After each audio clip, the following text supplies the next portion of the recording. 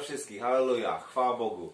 Witamy wszystkich w kościele Betlejem. Dzisiaj robimy to bez jakby kościoła, nagrywamy się, e, pozdrawiamy wszystkich z całego serca i zaśpiewamy pies pieś. Jaką piosenkę? Bazylem się wybierajcie na. Betlejem się wybierajcie. Aha, do Betlejem się wybierajcie, nie umiem tej, tej kolendy. Śpiewam dużo kolęd, ale ich nie umiem grać. A jak się śpiewa do Betlejem? Okej, dobrze. Szaftem majem bejsa są i mahanej je Jeszua.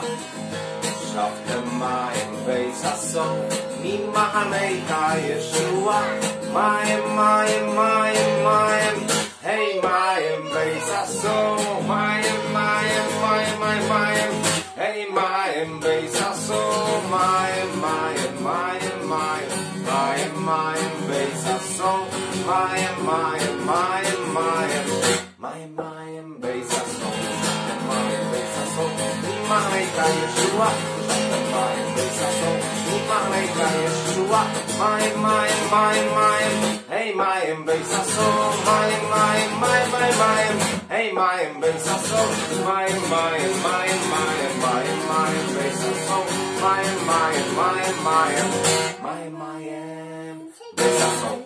Amen. Z y, szaftem Majem Bejsa są jest to pieśń, która mówi, że będziecie pić z radością do, do zbawienia.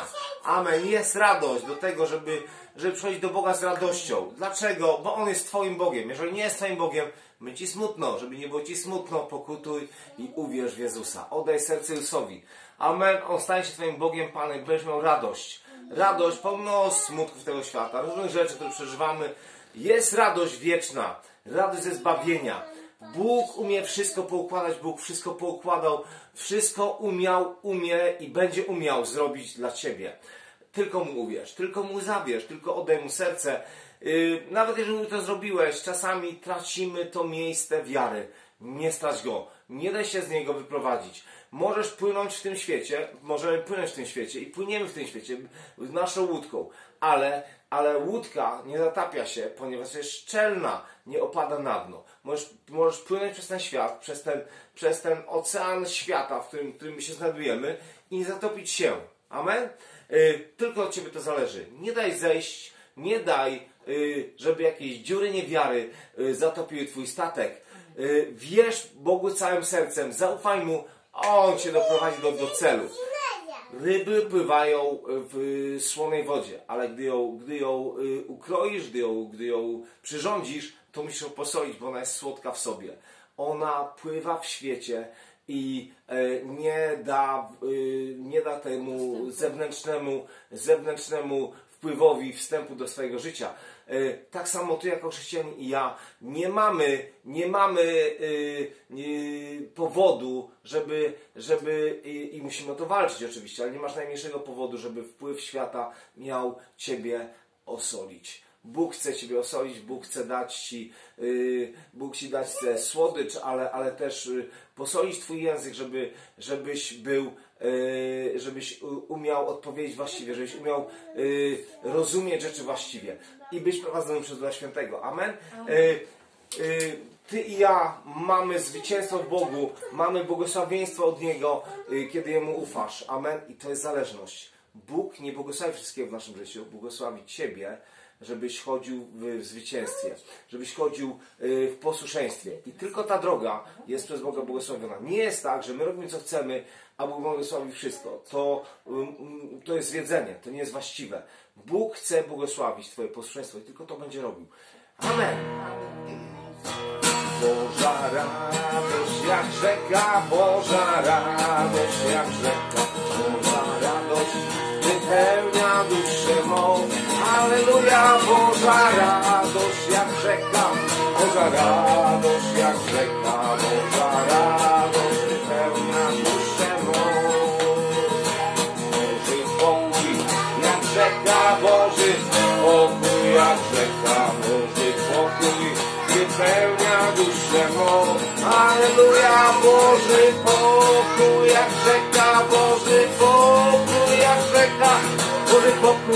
wypełnia duszę mą. Boża miłość, łaska jak rzeka, Boża łaska wypełnia duszę mą. Aleluja, Boża łaska, jak rzeka, Boża łaska, jak rzeka, Boża łaska wypełnia duszę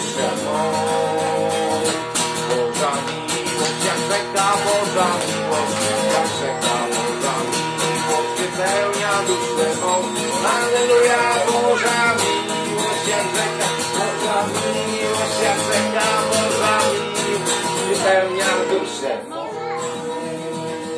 Co jeszcze powiem o duszę?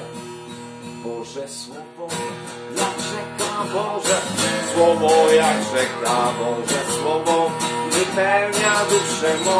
Halleluja, Boże Słowo jak rzeka Boże, Słowo jak rzeka Boże, Słowo wypełnia duszę mą. Jezus jest Panem, halleluja. On rządzi, On siedzi na tronie i ty, my przychodzimy do tronu łaski, nie do tronu sądu. Sąd się odbył na krzyżu. My przychodzimy do tronu łaski i bierzemy od Niego odpowiedzi. Amen. Bóg ma odpowiedzi, błogosławieństwo, namaszczenie dla Ciebie dzisiaj. Amen. Żaden demon, żadna choroba, żaden, że nawet śmierć, aniołowie, y, Paweł pisze mi się do Rzymian, nic nas nie odłączy od, od, od y, zgryzota, bieda, nagość, miecz. Nic nie odłączy nas od miłości Chrystusowej. Bądź Cię kocha bo Jezus Cię kocha. Bo Jezus jest po Twojej stronie. On zna Ciebie lepiej niż Ty siebie. On Ciebie po prostu kocha. Tylko Mu zaufaj, tylko Mu ufaj całym sercem. A On poprowadzi, wyprowadzi, przeprowadzi dokładnie swoją drogą. Zaufaj Mu, chwyć się Jego.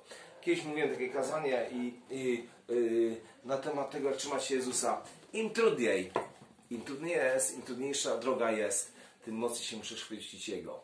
I ja chodziłem dużo raz, bardzo dużo po górach, biegałem po górach, lub pięknie, no chciałbym to robić, tylko jestem za daleko. Znaczy tutaj mamy góry, ale to nie są ten, to nie jest ten, y, nie jest ta skala, jak, jak Tatry na przykład. Y, No wyżej Bóg mi nie da podnieść. Znaczy biegałem w Alpach, a, amen, tak, tak, tak było, że biegałem w Alpach. Y, Ale y, jeszcze, jeszcze, ale jedno jest, jest pewne, jak, jak, jak, jak robiliśmy takie obozy ym, 36 lat temu, 35, 34 y, w, w górach młodzieżowe z naszego kościoła Arka w Gliwicach i, i no, prowadziłem jakąś grupę. Było ciężko niektórym, to mówiłem, złapcie się za ręce i się ciągniemy. I, i, i, i będę musiał ciągnąć ludzi. I, i im mocniej trzymałem rękę, im, tym, znaczy im trudniej było, tym mocniej musiałem, szybciej trzeba było iść i żeby się ludzie nie, nie, nie zgubili, żeby im pomóc, trzeba było trzy, trzymać mocno za rękę. Bóg Cię chce trzymać i poczujesz ten uścisk, poczujesz uścisk miłości, poczujesz uścisk pewności. Bo tak naprawdę jest takie miejsce, z którego Cię i świat, i ludzie, i to niestety często wierzący, którzy nie rozumieją Twojej sytuacji, którzy mogą Cię nie rozumieć w ogóle, będą chcieli Cię poruszyć z tego miejsca pewności. Nie daj się. Jest pewność w Bogu. Amen? Amen. Jest pewność w Bogu, jest pewność, amen. Jest pewność tego, do kogo przynależy, jest pewność tego, co masz robić, co robisz. Bardzo często, kiedy robisz nowatorskie rzeczy, nowe rzeczy, e, ludzie cię, ludzie cię będą się, się dziwić, a potem niestety będą szydzić. Ale nie da się zbić z miejsca ufności, pewności w Bogu. I o tym chciałem dzisiaj dwa słowa powiedzieć. O tym, y, y, o tym miejscu pewności, ufności y, w Bogu. Chciałem powiedzieć o Dawidzie. Dawid, 17 rozdział listu pierwszego, pierwszej księgi Samuela. O Dawidzie jest mowa o tym, jak, został, jak poszedł do walki z Goliatem, a zanim poszedł, został namaszczony na króla. On już wtedy, po ludzku, po, ludzku, po Bożemu powiedziane, już jest nominowany na króla. Już powinien to, to robić. Ale on nie wybrał skrótów, on nie wybrał drogi, która, y, która jest pyszną drogą, która jest y, drogą taką na skróty. Ja jestem tutaj wyznaczony, ja tu będę robił i słuchajcie mnie robaczki, bo Bóg jest po mojej stronie. On tak nie zrobił. On wiedział, że pomazajcem przed nim jest y, Samuel. On szano, Saul, przepraszam. No, Samuel też był pomazany. Ale Saul, jego y, król, y, król Saul. I on z nim nie walczył. On wiedział, że słowo ostatnie, pierwsze i ostatnie należy do Boga. Tak jak Pan Jezus o sobie powiedział, jestem alfą i omegą, y, to, to, to y, on rozumiał drogę Bożą. I y, y, nie, nie walczył cieleśnie opozycję, on walczył, on walczył uciekając. Uciekając przed Saulem. Wiemy, nawet był taki moment, że w czasie tych 17 właściwie lat, y, które, które uciekał, około 17 lat, to, to było przygotowanie do służby, to było ekstremalne działanie, y, nie spał w domu, miał rodzinę, y, często rodzinę musiał gdzieś oddalić w bezpieczne miejsce, żeby prowadzić wojny, dopiero potem wracał. Miał, miał trudny czas, a w tym trudnym czasie był przygotowany na największego króla w Izraelu. Króla, który przygotował dro- drogę dla, dla swojego syna y, Samu, y, Salomona i y, nie było łatwo, ale dzięki tym trudom e, nauczył się zwycięsko żyć w pokorze, zwycięstwie, hmm, w upadkach, ale, ale w tych ale, ale przygotował Bóg, Bóg drogę sobie. Amen. Więc y, y, y, chciałem takie, takie miejsce, po, po, taką rzecz powiedzieć przede wszystkim, że w momencie, kiedy, kiedy, kiedy wybierany był nowy król y, w, prze, przez Boga i Samuel wiedział tylko, że ma pójść do Betlejem, ma, ma pójść do Betlejem żydowskiego, jak mówi polska ko- kolenda, i tam, i tam odnaleźć króla, i tam znaleźć króla. Kiedy przyszedł do, do, do y, y, domu, gdzie, gdzie, gdzie to ma się wszystko odbyć, wszyscy się bali w ogóle y, y, przyjścia y, proroka, dlatego że, że to mogło nie być wcale miłe dla nich. Może, może przed ich skarcić, może przyszedł ich napomnieć, może przed im powiedzieć, że źle robicie. Oni mieli bojaźń, taką właściwą bojaźń przed Bogiem y, gdzie y, to nie chodzi o niepewność, bo, bo, ale chodzi o, o, o to, że kiedy chodzisz blisko Boga, kiedy chodzisz w pokorze, to zdajesz sobie sprawę ze swojej umności i z Jego świętości. O tym zdajesz sobie sprawę z tego, że On jest święty, doskonały, a ja jestem niedoskonały. I potrzebuję, po, potrzebuję poprawy, naprawy prowadzenia. I, i y, oni, kiedy przed Samuel y, obawiali się troszkę, co, co to może znaczyć. I dlatego starsi wyszli mu naprzeciw i zapytali się, czy twoje przyjście oznacza pokój? I powiedział, tak, pokój. I nie zdradził do końca wszystkiego, ale, ale kiedy przyszedł już do Betlejemu, kiedy przyszedł i, ym, i wybiera, i, wybiera y, i, i próbuje znaleźć króla, wiemy, Samuel się pomylił. Myślał, ten jest królem, świetnie wygląda. Wiecie, pozory mylą. Pozory mylą. Jest takie polskie powiedzenie dobre, nie tylko polskie. Pozory mylą. Jest wiele bardzo dobrych przysłów polskich. Ale bardzo często ludzie się, ludzie się mylą.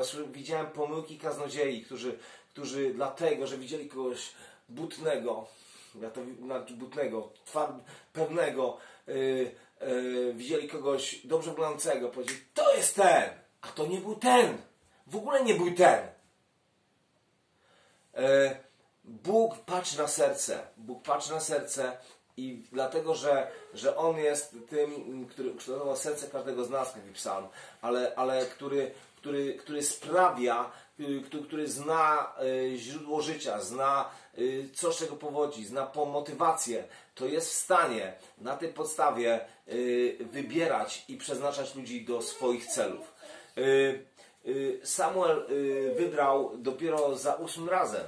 Przyszło, przyszło sie- siedmiu i, i wiemy, że, że tak, tak naprawdę y, jest, tak się wstydził swojego syna, że zapomniał o nim, zapomniał o królu, zapomniał o najważniejszym. Tym, tym odrzuconym, tym niechcianym, tym zapomnianym był Dawid.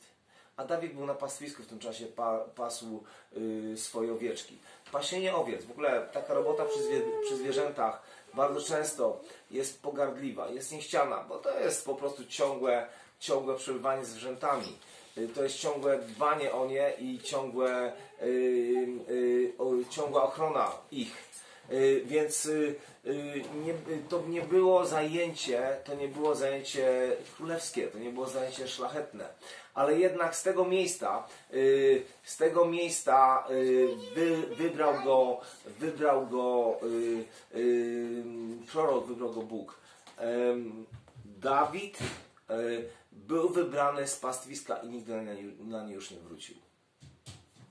Ja chcę powiedzieć taką bardzo ważną rzecz. Myślę, że to jest bardzo ważne, nie dlatego, że ja to mówię, ale dlatego, że są Boże, Boże zasady, że, że jest, jest coś takiego jak, jak Boże działanie w życiu człowieka, jest, jest coś takiego jak prowadzenie Boże. Jeżeli Bóg Cię wyrwał z ulicy, nie wracaj na nią. Ja wyciągałem ludzi z ulicy. Byli u mnie w domu, byli, byli w, domach, y, w domach dla bezdomnych y, i to parę lat się tym zajmowałem. Y, nie miałem wsparcia. Ludzie gdzieś tam klaskali, coś tam mówili, ale nikt mnie, prawie nikt mnie nie wspierał. Nikt tego nie rozumiał, wręcz, wręcz myślę, że, że troszkę się naśmiewali. Ale, ale dzięki łasce Bożej myślę, że, że kilku ludzi wy- wyrosło na mężów Bożych. Zostali uwolnieni, uzdrowieni, zostali i są błogosławieni i Bóg będzie ich błogosławił. Ale y, to jest bardzo ważne, że Bóg Cię wyrwał z jakiegoś miejsca, nie wracasz do tego miejsca. Pan Jezus był na ulicy, ale nie żył ulicą. On żył Bogiem i wy- wyrywał ludzi z ulicy, wyrywał ludzi z różnych miejsc, w którym, w którym się znajdował. I Bóg Cię chce przeznaczyć do celów szlachetnych, najszlachetniejszych, kiedy Jemu będziesz posłuszny, kiedy Jemu zaufasz, kiedy Jemu będziesz służyć i kiedy będziesz Jemu uległy, uległa. Y, Dawid y, y, był wyciągnięty z tego miejsca i wzrastał i dlatego, że tajemnicą jego rozwoju była, była, było, była uległość Bogu, było całkowite zaufanie Bogu.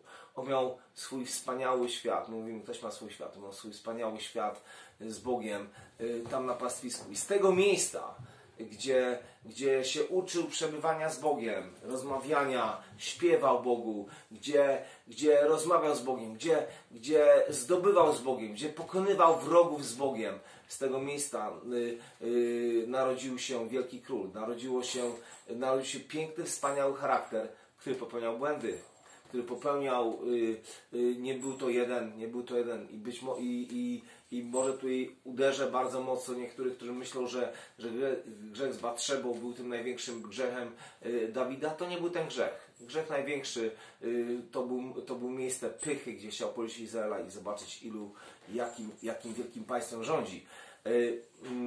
Y, i przez to przyszła zaraza i, i zginęło wiele tysięcy ludzi w jednej chwili. Anioł, anioł śmierci przyszedł i, i zaraził i, i ludzie padali jak muchy, dlatego że pyszny był król. Ale wiemy, że Dawid umiał się uniżać i dlatego, y, dlatego że, że umiał się uniżać, dlatego że umiał szukać Boga, że, że umiał wracać y, y, że umiał pokutować, że umiał szukać Bożego oblicza, bu, był prowadzony przez Boga. Y, My czytamy historię y, ze Starego Testamentu, z Nowego, y, bo Nowy Testament to już jest historia też napisany tutaj. Nowy Testament się dalej mm, przez Ciebie i przez Twoje i moje życie rozprzestrzenia i rozwija, ale czytamy tę księgę po to, żeby się uczyć i nie powtarzać błędów historii, po to, żeby, żeby wzrastać w najlepszym, w najlepszych rzeczach od Boga. Bóg Cię kocha, jest po Twojej stronie i mojej. Amen. Możemy Mu ufać całym sercem, a On y, poprowadzi Twoje życie dalej. Amen. Hallelujah. Amen.